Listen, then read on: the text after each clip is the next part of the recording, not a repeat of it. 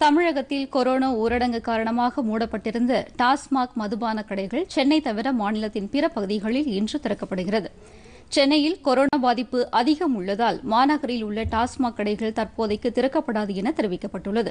எனினும் மதுபான கடைகள் காலை பத்து மணி முதல் மாலை ஐந்து மணி வரை மட்டுமே திறந்திருக்கும் என்றும் மதுபான கூடங்களான பார்கள் திறக்கப்படாது என்றும் மாநில அரசு அறிவித்துள்ளது. மதுபானங்களை வாங்குவதற்கு சமூக இடைவெளியை பின்பற்ற வேண்டும் என்பது உட்பட பல்வேறு கட்டுப்பாடுகள் விதிக்கப்பட்டிருப்பதுடன் ஒவ்வொரு கடை முன்பாகவும் தலா இரண்டு காவலர்கள் பாதுகாப்புக்கு நிறுத்தப்படுவார்கள் எனவும் தெரிவிக்கப்பட்டுள்ளது. இதனிடையே மாநில அரசு அறிவித்துள்ள மதுபான விலை உயர்வும் இன்று முதல் அமலுக்கு வருகிறது. இதன்படி குறைந்தது பத்து ரூபாய் முதல் இருபது ரூபாய் வரை விலை உயர்கிறது.